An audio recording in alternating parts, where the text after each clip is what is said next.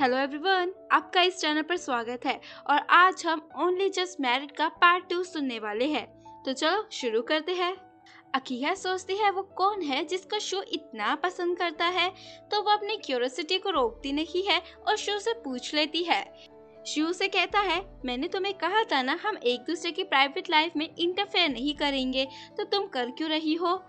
अकीहा को उसकी बातें सुन के गुस्सा आने लगता है। जाने से पहले शू अकीहा को अपने मिनिएचर्स को फ्रंट डोर के डेस्क से हटाने के लिए कहता है। अकीहा कहती है कि मेरा मिनिएचर का कलेक्शन है।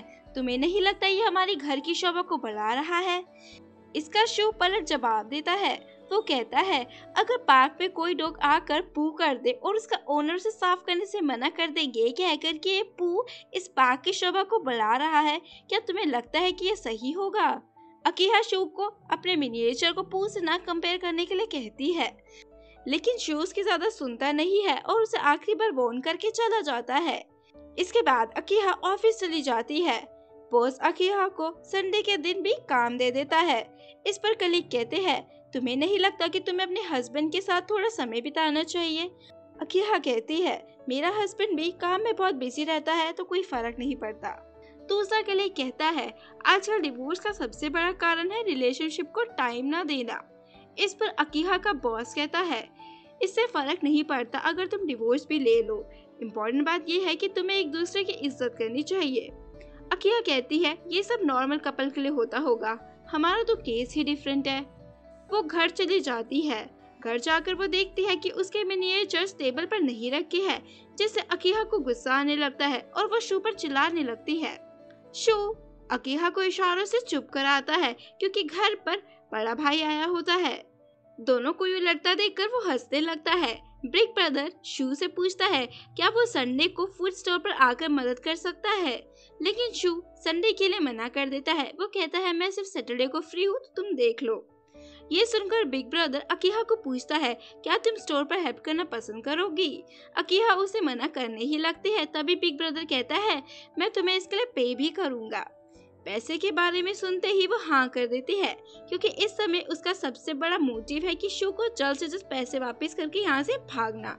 शू उसको रोकने की कोशिश भी करता है, लेकिन वो उसकी सुनती नहीं है। अगले दिन अकीहा शू से यूँ ही बात करना शुरू कर देती है। वो उसे बताती है कि कंपनी में मुझे बड़ा प्रोजेक्ट मिला है। वो कहता है तो इसमें मैं क्या कर सकता हूँ? अकीहा ये सुनकर भी चुप नहीं होती है और कहती है, आज मैं बहुत खुश हूँ। इसके बाद अकीहा कहती है तो मेरी बातें तो सुन रहे हो ना?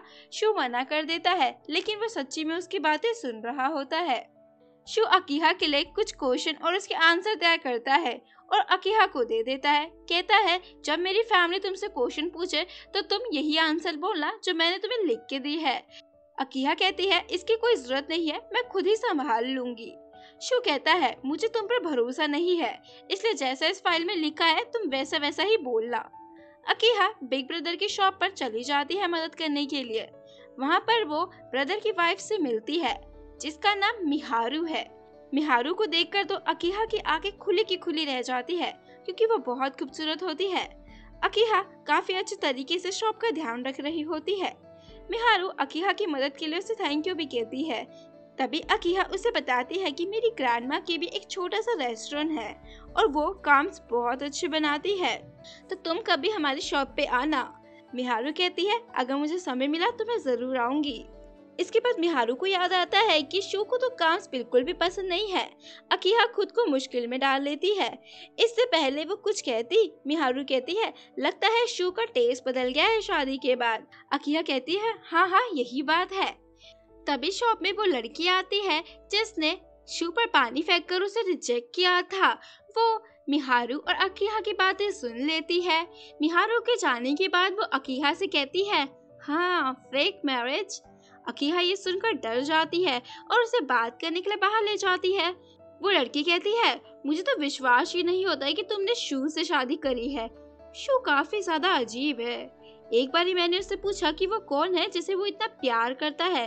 तब शू ने मुझे सिर्फ़ इतना ही बताया कि उसकी स्माइल सनफ्लावर की तरह है।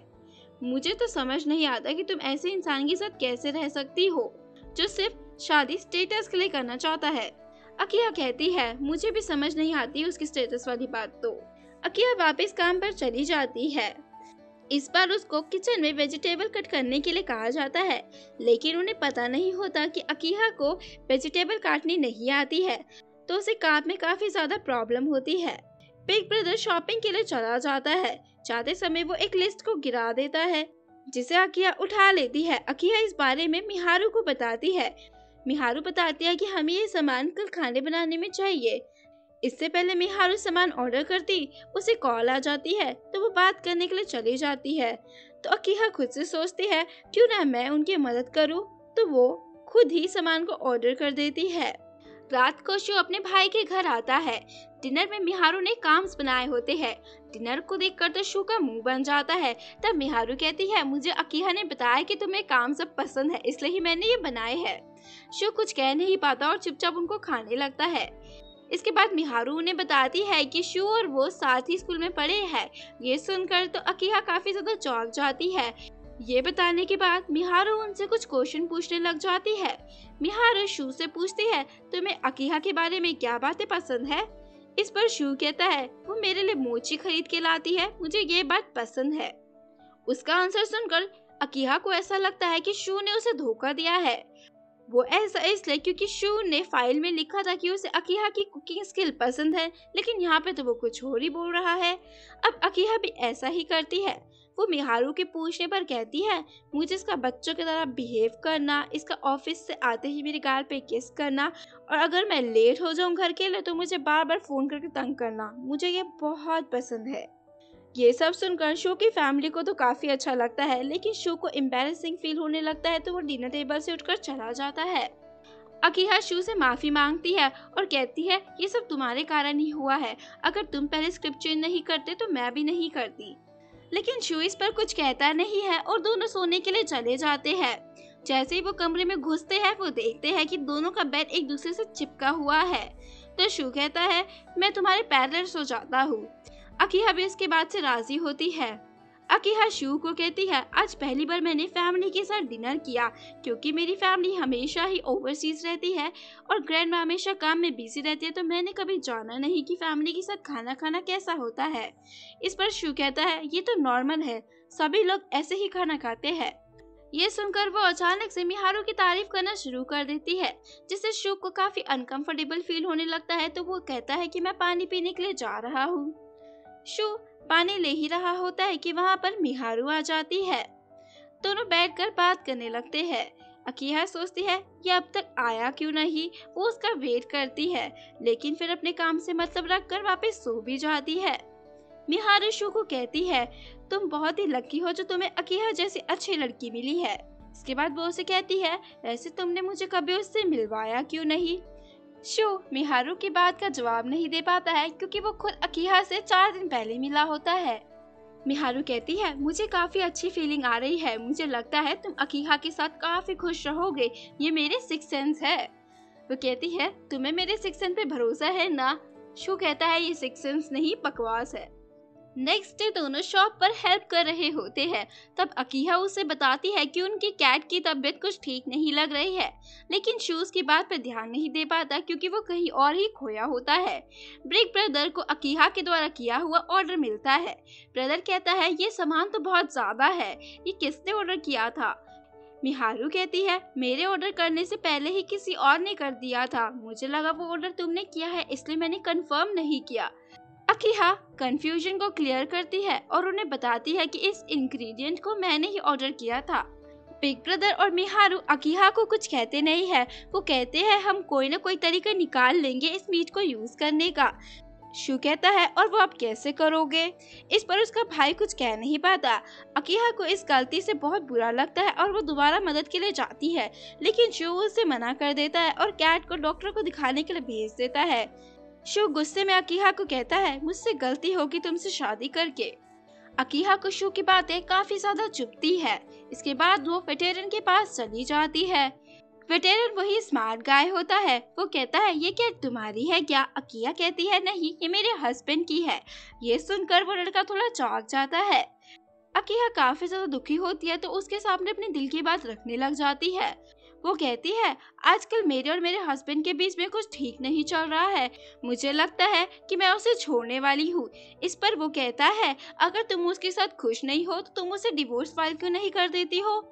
उसके बाद सुनकर अकिहा डिसाइड करती है कि वो लोन लेकर शो को पैसे वापस कर देगी और उसे छुटकारा पा लेगी।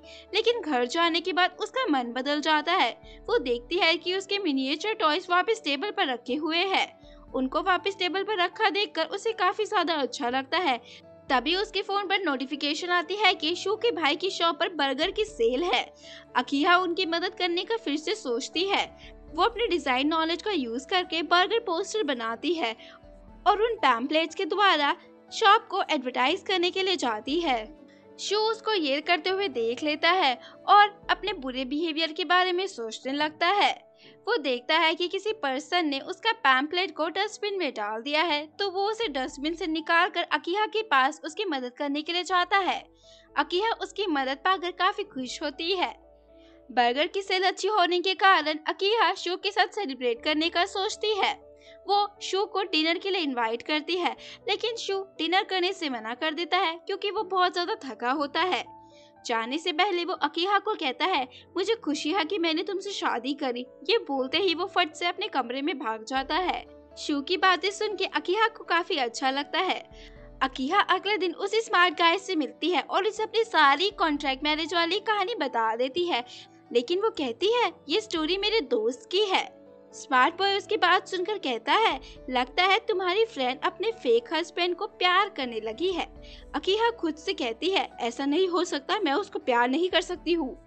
तभी उसको नोटिफिकेशन आती है। उसमें वो देखती है कि मिहारू ने बर्गर के साथ अपनी फ़ोटो डाली है और बैकग्राउंड में सनफ्लावर्स है। उस फ़ोटो को देखकर अकीहा को समझ आ जाता है कि शू जिसको पसंद करता है, वो और कोई नहीं, बल्कि मिहारू है। और इसी के साथ हमारे पार्ट टू की एंडिंग होती है। देखने के लिए बने रहे। Thank you for watching